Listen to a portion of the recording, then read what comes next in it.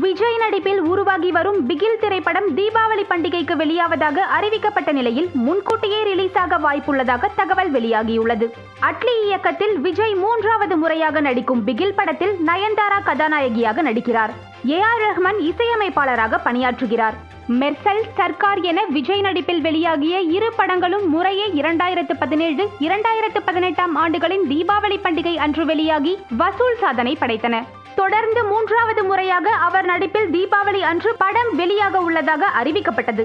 பிகில் படத்தின் first look வெளியான போதே இதற்கான அறிவிப்பும் வெளியானது. இந்த ஆண்டு தீபாவளி பண்டிகை அக்டோபர் இருபத்தி ஏழாம் தேதி ஞாயிற்றுக்கிழமை வருகிறது. எனவே அதற்கு முன்கூட்டியே படத்தை வெளியிட்டால்தான் விடுமுறை நாட்களின் வசூலை குறிவைக்க முடியும் என்று கூறப்பட்டது. இந்த நிலையில் படத்தை அக்டோபர் இருபத்தி நான்காம் தேதி வியாழன் அன்று வெளியிட திட்டமிடப்பட்டுள்ளதாக தகவல் வெளியாகி வருகிறது. தீபாவளிக்கு மூன்று நாட்களுக்கு முன்னதாக முன்னதாக படம் வெளியாகும் போது ரசிகர்களின் கூட்டம் நிறைவடைந்த பின்னர் தீபாவளி அன்று பொது பார்வையாளர்களை ஈர்க்கலாம் என்று எதிர்பார்க்கப்படுகிறது. இந்த ஆண்டு தொடக்கத்தில் வெளியான பேட்ட விஸ்வாசம் ஆகிய படங்கள் பொங்கல் பண்டிகையை முன்னிட்டு வெளியாவதாக அறிவிக்கப்பட்ட நிலையில் ஜனவரி பத்தாம் தேதி பண்டிகைக்கு சில நாட்கள் முன்னதாகவே வெளியாகி இருந்தது குறிப்பிடத்தக்கது.